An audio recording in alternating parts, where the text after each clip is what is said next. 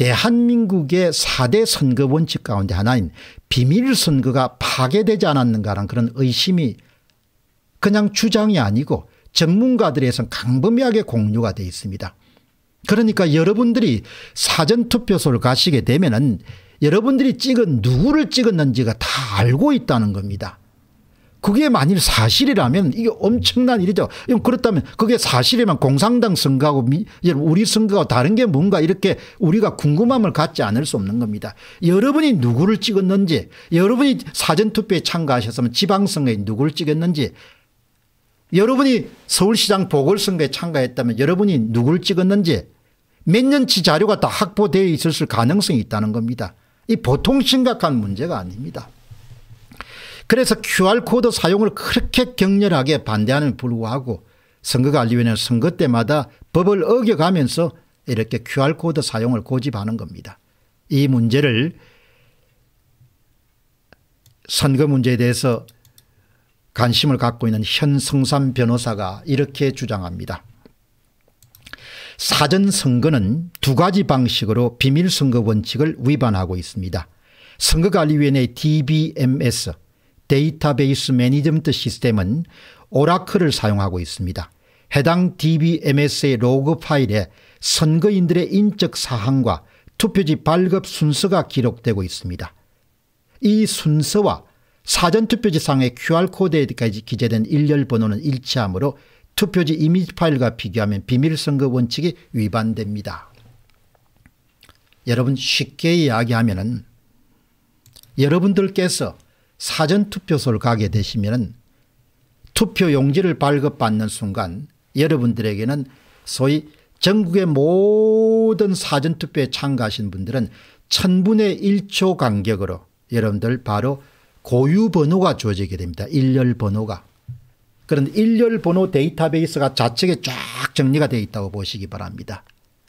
여러분의 투표지가 개표소에서 투표지 분류기를 통과한 동안에 기표 도장의 이미지가 찍히게 됩니다. 그 이미지의 하단에는 보시면 뭐가 있는 거 QR코드가 있습니다. 일렬 번호하고 이미지 QR코드가 바로 이미지 파일과 일렬 번호가 여러분들 이미지 파일이 바로 밑에 있는 QR코드 번호와 결합되기 때문에 투표자 개인의 고유 번호하고 바로 투표자가 누구를 찍었는데 투표지 이미지가 바로 여러분들 매치가 돼 가지고 누가 누구를 찍었는지 알 수 있다는 것입니다. 기술적으로 아주 쉽게 인천 연수원의 송도 이동의 제1투표소에 2020년도 4월 12일 날 오후 2시에 길동 홍이 여러분들 투표를 했는데 길동홍의 교유번호는 1111번호다. 1111번호가 여러분 투표지 분류기를 통과하는 동안에 1111번호가 여러분들 QR코드에 의해 가지고 1111번호가 몇 번을 찍은지 투표 이미지가 다 여러분들 찍히는 겁니다. 두 가지를 매치하게 되면 홍길동인가 누구를 찍었는지가 사전투표에 참가한 모든 사람들은 다 데이터베이스화 될 수 있다는 겁니다. 엄청난 일입니다. 이것을 지금 현성삼 변호사가 이야기를 하는 겁니다. 통합선거인 명부의 투표지 발급 시간이 기록됩니다. 투표지 발급 시간은 통합선거인 명부 DBMS 로그 파일에 기록됩니다. 통합선거인 명부에 기록된 선거인 인적사항 및 투표지 발급 시간을 투표지 이미지 파일과 비교하면 비밀선거 원칙이 위반됩니다. 통합선거인 명부에 기록된 선거인 인적사항과 투표지 발급 시간 투표지 발급 시간을 안다는 것은 뭡니까 투표지 투표자 고유 일렬 번호가 주어지는 겁니다. 투표자 고유 일렬 번호하고 바로 누구를 찍었는지 투표지의 기표 도장의 이미지가 바로 여러분들 상호 매치가 돼 가지고 누가 누굴 찍었는지 알게 되는 것이 현재 기술적으로 대한민국에서 일어나고 있는 겁니다. 물론 이 부분에 대해서 중앙선거관리위원회는 절대로 그것이 가능하지 않다 이렇게 주장합니다. 그러나 대부분의 전산 전문가들은 현재 대한민국이 로고 파일에 의한 투표자 개인의 일렬 번호와 그리고 QR코드와 투표지의 기표 도장의 투표지 이미지가 바로 일렬 번호 비교에 가지고 서로 조합되면 누가 누구를 찍었는지 알 수 있다고 이렇게 보는 겁니다. 이것은 4.15 총선 이후에 많은 전산 전문가들이 그동안 규명해 온 겁니다. 그러니까 쉽게 얘기하면 특정 후보의 당선에 필요한 유령 투표자 수의 제조 즉 사전투표 조작을 위한 전산 조작에 바로 악용될 가능성이 매우 높습니다. QR코드가 이렇게 큰 역할을 한 겁니다.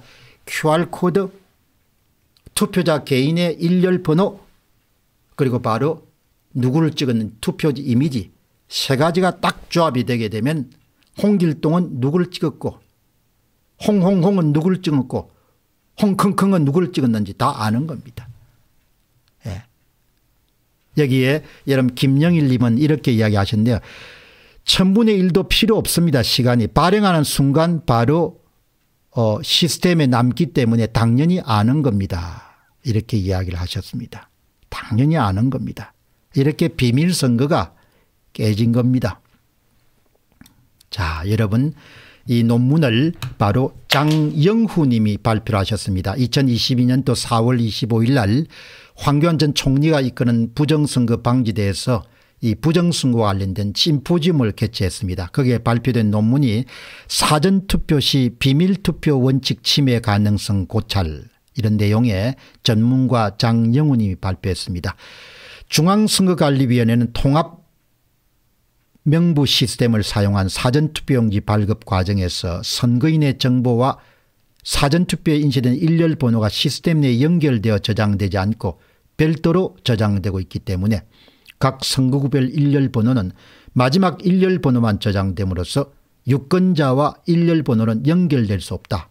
따라서 기표한 사전투표지 내 QR코드 일렬 번호를 통해 유권자가 어느 후보에게 기표했는지 확인할 수 없다고 주장하고 있습니다. 이게 중앙선거관리위원회 주장입니다. 그러나 전문가들은 완전히 다릅니다. 그러나 국제적으로 선거 관련 전문가들은 기술적으로 관련 프로그램을 알 수 있는 인력들에 의해서 선거인 인정 순서, 일렬 번호 발급 순서를 복원해낼 수 있다고 주장하고 있습니다.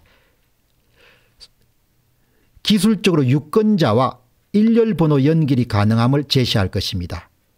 그리고 유권자와 일렬 번호가 연결 가능하다면 기술적 난이도가 높지 않은 사전투표지 QR코드 내 일렬 번호와 기표된 후보자를 읽는 것으로부터 사전투표한 유권자가 기표한 후보자를 연결할 수 있다는 가능성을 통해서 헌법 제67조 공직선거법 제167조 및 278조에 보장된 선거의 비밀투표 원칙에 침해 가능성이 있음을 설명하고자 합니다. 여러분 그러니까 전국의 사전투표소에 참가한 투표자는 바로 고유번호 일렬번호가 주어지고 개표소를 통과하는 사전투표지는 일렬 번호인 QR코드와 바로 기표 이미지 누굴 찍었는지를 그것이 동시에 이름 연결되기 때문에 두 가지를 조합하게 되면 특정 유권자가 누구를 찍었는지를 검시해 알수 있다는 겁니다. 그리고 이런 것을 제시를 합니다. 마지막에 여러분들 선관위 서버 업무 시스템의 마지막 단계는 일렬 번호를 제공합니다. 모든 그런 사전투표 참가자들에게 번호를 주는 겁니다. 고유 번호를 예, 그래서 이 고유 번호가 선거인 투표 기록 테이블에는 이렇게 기록이 됩니다. 선거인 아이디, 성명, 생년월일, 성별, 관내 관내, 사전투표소, 선거구가 이렇게 기록됩니다. 그런데 선거구별 최종은 바로 선거구별과 최종 일렬 번호가 투표자에게 주어집니다. 여러분 그래서 이렇게 다 정리정돈이 되는 겁니다. 그러면 결국은 일렬 번호하고 선거인 명하고 선거인 아이디하고 순번이 결정이 됩니다.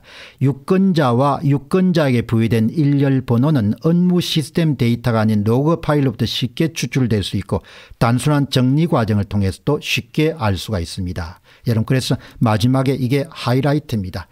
대량의 기표된 투표지 이미지에서 QR코드 일렬 번호를 추출하고 기표된 후보를 추출하는 것은 프로그램 개발 필요성이 문제이며 기술적으로 아무런 장애가 없습니다. 여러분 보시죠. 이 QR코드 일렬 번호죠. 예, 그리고 여기에서 기표 도장 예, 일렬 번호하고 기표 도장이 딱 매치가 되는 겁니다. 그러면 이 일렬 번호만 하면 누구가 누구인지를 검시할 수 있는 겁니다. 이렇게 여러분들 비밀 선거가 파괴가 되는 겁니다. 그래서 QR코드를 쓰면 안 되는 겁니다. QR코드를 왜 쓰려고 고집하냐 이렇게 착하게 뭡니까 알 수 있기 때문에 예. 그래서 이것을 사용하게 되면 그동안 선거를 투표에 잘 참가하지 않은 사람을 다 찾아낼 수 있는 겁니다. 예. 이렇게 여러분들 조작을 한 겁니다. 마지막 결론입니다. 장애 복구를 위해 시스템에서 관리된 로그 파일을 통해 유권자의 정보와 발급 일련번호를 연결할 수가 있고 QR코드 내 일련번호가 붙어있는 기표된 투표지 이미지로부터 일련번호와 기표된 후보자를 추출할 수 있습니다. 이 두 가지 정보를 결합하게 되면 사전투표를 한 어느 유권자가 누구에게 기표하였는지를 추적할 수 있음을 설명할 수가 있습니다. 이렇게 여러분들 정리가 된 가장 중요한 문장입니다. 따라서 헌법 제16, 60조 1항 비밀선거를 위반한 것이고 공직선거법 제167조 비밀을 위반한 것이고 공직선거법 제278조 이것이 다 위반된 것이다. 그래서 이렇게 집요하게 QR코드 사용을 적법한 행위가 아니면서도 이렇게 밀어붙이고 2021년도 11월과 12월에는 대법원 판례까지 끌어내 가지고 현행 법규를 위반한 대법원 판례를 내린 대법관들도 정신이 나갔지만 그것을 집요하게 받아들인 것은 부정선거를 계속하겠다는 겁니다. QR코드를 사용해 가지고. 그래서 최소한 필요한 것은 아, 이번 6월 1일 지방선거에서 늦은 감이 없지 않지만 정말 우리에게 필요한 것은 QR코드를 사용 금지하는 거하고 반드시 법이 정한 바대로 투표관리관의 개인 도장을 찍도록 해야 된다. 이 점을 여러분들에게 강조를 한 번 더 드리고 싶습니다. 자,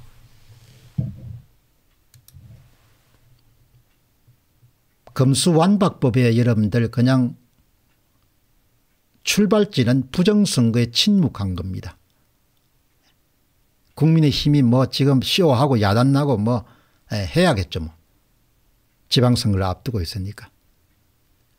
그러나 그런 야단 법석에 이준석이 나서가 야단 법석을 지우는 걸 보면 참 가소롭기 짝이 없습니다.